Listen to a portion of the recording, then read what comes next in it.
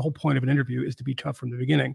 And he didn't do that. And there's a million things about his own country that he could have asked about him. You're talking to the president of Russia, and I use that word in air quotes. He's not the president of Russia. He is the dictator. He's an actual dictator. People who soft pedal this are wrong. There's no independent judiciary. You cannot say what you want. The number of people, the number of artists who have spoken up against the uh, war in Ukraine, who have had to exile themselves or have been exiled to the gulag, are too many to count. I mean, an American was arrested yesterday in Moscow, a ballerina uh, who is of Russian background and is based in LA, because she gave, and this is according to the Russians, this is not our interpretation of this, $51 to a charity in New York that supports Ukraine and Ukrainian refugees, I believe is actually their remit, but uh, $51. And she is facing life in prison in Moscow. This is not a country that is, you know, Viktor Orban's country. There's a there's opposition. I mean, not a, not a government that I, I like, but there's a lot of and, and they've done a lot to to squelch the free press.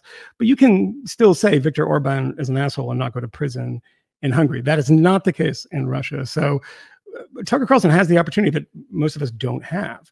And I don't. I think he squandered that opportunity. But I I will agree with you, Zach, that the question was good. If he started with that, I'd say, oh God, this is actually going to be a good interview. But he ended with that after allowing Putin to filibuster in a absurd version of Russian history for about 30 minutes.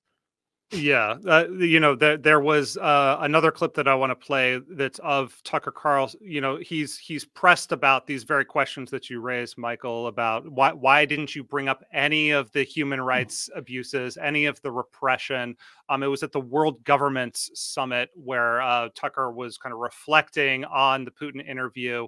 Um, and he gives a defense of his interview style. And I'm curious what you think of this defense. So, uh, Ian, could you roll that clip?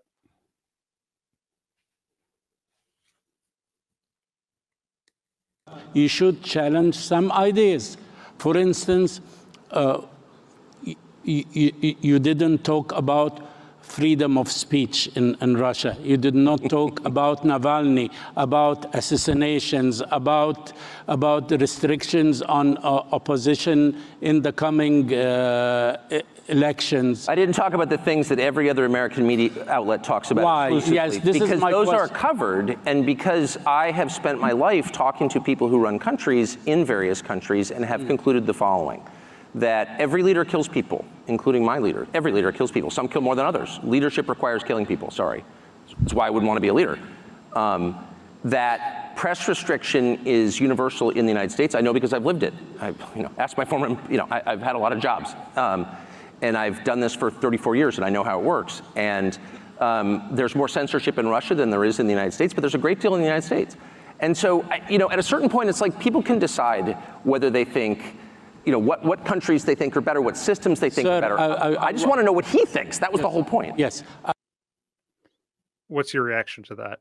I mean, where does one begin? I mean, every syllable there is uh, stupid and offensive in almost every way. I mean, first of all, the false he, equivalency. Uh, the false equivalence is is insane. But I mean, you start with this idea where where um, when he was uh, you know got this interview, he did a, a little piece to camera on the top of the uh, hotel in, in, Moscow, a hotel I st- mm-hmm. actually stayed in. That was, I think that's the Trump hotel too, by the way, where the accusations in the Steele dossier supposedly took place. But he's up there and he said, um, you know, no one is doing the job no one is actually interviewing him. And of course, all the people who have wanted to interview him have said, you know, we put in requests and we're getting nowhere. So for him to say that everyone asked that question, but start the entire process of the interview teasing the interview by saying nobody talks to him except for me.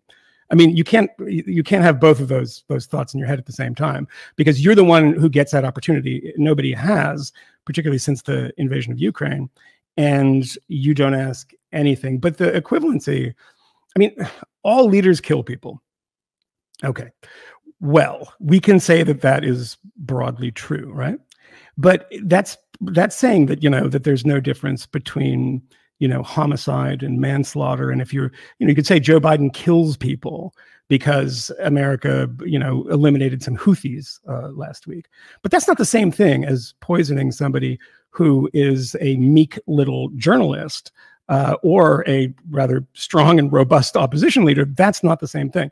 To say that all leaders kill people, the presumption is that all types of death that you could ultimately blame, be blamed for are the same. They are not.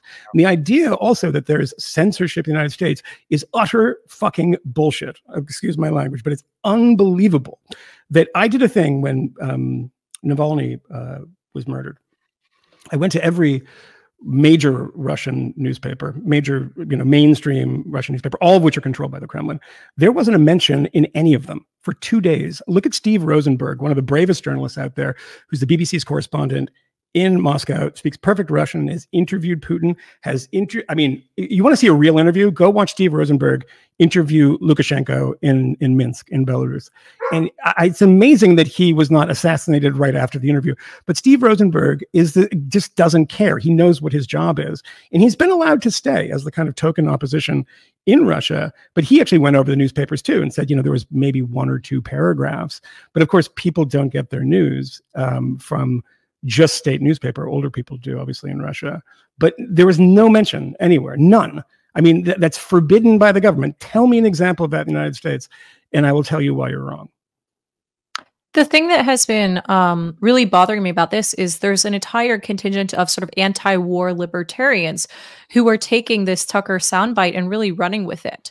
Um, and mm. to me, it strikes it strikes me as so um, either stupid or dishonest i'm frankly not sure which it is because it's it's this complete erasure of degrees right? Like the scale at which this is happening also matters a lot to me right? Like for example a case that uh, you know tons of people have been in my mentions all day today and then a whole bunch last week about how oh you know tucker's so wrong about uh, press freedom, freedom in the us and all these things. Well what about the assange case? And it's like first of all zach and i talked with stella assange uh, you know julian's wife um, you know, merely months ago on this podcast, right? So like this is something that's like we're reporting on, we're interviewing the mm-hmm. relevant people. We would love to secure an interview yeah. with Julian Assange himself. He's in prison in Belmarsh, and so currently and Stella is who is available sympathetic to, to his cause. I do not yeah. think he should yeah. be imprisoned for publishing this material. Absolutely, but to some degree, like the, the thing that was bothering me so much about this, other than the fact that we literally have engaged with Julian's case and you know been reporting on it, is the fact that the the scale at which this type of thing happens in you know each country when we're making comparisons also matters a ton right? Mm-hmm. the assange case is completely you know unacceptable that you know by the way the trump department of justice was the one that's trying to extradite him right? Um but you know it's completely unacceptable that that type of you know persecution and in, encroachment on press freedom is happening in the us also, that case sticks out to some degree because it's a rarity compared to what happens under Putin's regime. And mm, yeah. to me, these degrees matter, even if I oppose it always and everywhere. Yeah, I mean, I think it's worth looking at just the data on this, like to figure out how how bad is Russia? Is it just kind of, uh, you know, is is America like Russia light? Um, I I don't think yeah. so because uh, like every single pick your freedom index and it's gonna rank Russia at the bottom. This is the 2023 Index of Economic Freedom, which is done by the Wall Street Journal and Heritage Foundation, gives Russia an overall score of 53.8, uh, 53.8 and ranks it at uh, 125. Nigeria uh, is right above it. I love mm-hmm. that. Nigeria is right below above it. Niger's right below it. Uh, you know, pr- very low property rights, judicial effectiveness, business freedom. Um, the only thing that seems to be good at all is um uh, well it looks like trade freedom went up a little bit. I don't know if that's because of uh you know opening up uh, more trade with china or something like that. Labor freedom um, also went up because they're no longer yeah. like relying on soviet slave labor. So props to russia. They're doing great these days. We're very proud. Here's reporters without borders. Um index the 2023 index puts them at 164 out of 180 um, uh, here's just a couple highlights. All privately owned independent TV channels are banned from broadcasting except for cable entertainment channels. That means no BBC, no Euronews, no France 24. Um, there's many laws relating to freedom of expression that have been adopted in recent years, including defamation and fake news laws mm-hmm. were amended to in order to incorporate them into penal code, the penal code at the start of the COVID 19 pandemic, um, distributing false information about the Russian armed forces or any other Russian state body is now punishable by up to 15 years in prison. Look, we've had some problems with, uh, you know, we, we've had our lodged our complaints with the way social media moderates speech and so forth. But we're not in a situation where you're getting 15 years for criticizing the federal government. Um, so it, it's you know it's worth just uh, you know dwelling on on the data. Uh, th- and there's one more here. This is the democracy index, um, which is put together by the Economist Intelligence um, uh, association or institute Unit, and yeah, it- yeah. Unit thank you Yeah. um and this is just showing kind of the the all the following indices of democracy We're, we we link to all our sources so if you want to dig into how they arrive at all these um you you definitely should but my point in that is like you you can you, you don't have to cherry pick anything to you know find pretty broad consensus across the globe that in terms of freedom R- russia is not you know the us is not biting at russia's heels or anything Yeah, like. I, the Soviet Union used to do something funny, and occupied countries did the same. So, for instance, East Germany, they had a Christian Democratic Party. They had an SPD, the Social Democratic Party. I mean, they weren't real parties, but they had a fake opposition. So, in the parliament, you'd give one seat in the Volkskammer to like the SPD or the CDU or something, and it was just a complete joke. Um, the same thing was true in Russia until recently with media. So, you had three places. Rain TV, um, which is an interesting documentary, but it's not a great documentary, but gives you a lot of background on how that came into being. Um, Echo Moscow, uh, the radio station, um, which is off the air now too. And the guy who started and, and, and ran it is like controlled opposition at this point, a very old, uh, white-haired uh, journalist uh, who's just you know says what the Kremlin wants him to say at this point. Um, and Novaya Gazeta, the newspaper, which is where Anna Politkovskaya was a, a reporter, and um, she was shot in the head for reporting on uh, war crimes in Chechnya. And keeping in mind, I always find it in, in- incredible that the so-called anti-war people, who don't appear to be opposed to war always, particularly when it comes to Ukraine, the invasion of Ukraine, um, you know, the Putin solidified his power in 2000 with the Second Chechen War, and what created the Second Chechen War was a series of apartment bombings in in Moscow, on the outskirts of Moscow, killed 250 odd people. Uh, there was one that was that was about to blow up, um, and it didn't happen. But it was a it was a training exercise. That's what the people were seeing. If you go, if you look at that case, there's a number of people. The Economist has reported on this. It's a conspiracy theory that seems to be true. And a number of very, very serious people um, have reported on this. Al- Alexander Litvinenko reported on this that it was blown up. Those apartment buildings were blown up by the FSB with the purpose of, of launching the Second Chechen War and then solidifying Putin's power. Uh, Litvinenko reported that, and then he was poisoned in uh, England, in a foreign country, uh, by um, members of the FSB who are now actually in the Duma. Uh, Alexander Lugovoy, who is the man who actually poisoned him, is in parliament, in Russian parliament, in the Duma, as a member of the United Russia Party, as a member of Putin's party. That was his reward for killing somebody on foreign soil who dared to write about the apartment bombings. I mean, there are a lot of people that love conspiracy theories. Tucker loves conspiracy theories.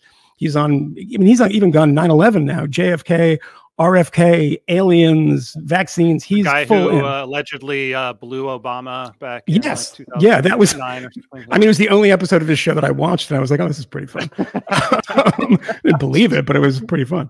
But he doesn't believe this. I mean, why not this conspiracy, which is one that is more consequential than any other that I can think of? I'm particularly, you know, for the peace in the Middle East and in in the region of Russia. All of this that solidified Putin's power and allowed him to obtain more and more power. If you see in the early 2000s, there was a sense when when George Bush said, "I looked into his soul," and then of course John McCain very famously said, "I looked into his soul and I saw KGB," which was more accurate than what George W. Bush said. But there was a point at which, you know, okay, this is the way Russians rule. This is the way Russia always has been. It's never been a democratic country. It had a very, very brief experiment with democracy in the 90s, and it was sort of disastrous. And as it went through the 90s, Boris Yeltsin became more authoritarian and then handed the keys to Vladimir Putin, who, by the way, the interesting thing gives him the keys to the to and and he's old and and drunk and infirm at this point, and calls him on the night of his election victory. He's the self-appointed, you know, he's going to take over for Yeltsin, and um, he never called him back. This is an incredible thing. This video of this, they were filming a documentary, and the rage that existed in Boris Yeltsin at the time. He's like, he didn't he didn't call me back. I mean, are you kidding me? He's like, I'm waiting for his call. It's like, no, no, this was once he took the reins of power, there was no uh, giving up on the reins of power. He was not loosening that grip at all. And in doing that, of course, you have to shut down all independent media. You have to arrest and kill everybody inside. I mean, the number of people that have been poisoned. I mean, Navalny uh, was poisoned. Um, Viktor Yushchenko was poisoned because he was someone that was um, drifting towards the west in Ukraine. Vladimir Kaz- uh, Kara-Murza, who I've actually spent some time with, uh, Peter uh, Verzilov, who was the um, kind of manager of Pussy Riot, who I've also spent time with and is a very fun guy, uh, was also poisoned. The Skripals in London were, or in Salisbury, were poisoned. Um, defectors from the KGB. So it was funny when you saw people like who's this guy? David Sacks, I guess, online said, you know, why would he bother killing Navalny? He had him where he wanted. Eh, you ask any Sacks peddling this stuff too now. Of course, yeah, he's he's a he's a big cool. um, you know Ukraine deserved it kind of guy. But th- this this attitude is somebody who uh, or comes from people who have not read a thing or know nothing about modern Russia, and there are people that are close to Putin that are not his enemies who have confirmed this. That the thing is, when you betray the motherland, they will go to no lengths to, to, to no end like you'll do everything they possibly can to punish you for it. Hey thanks for watching that clip from our new show just asking questions. You can watch another clip here or the full episode here. New episodes drop every week so subscribe to reason tv's youtube channel to get notified when that happens or to the just asking questions podcast on apple spotify or any other podcatcher. See you next week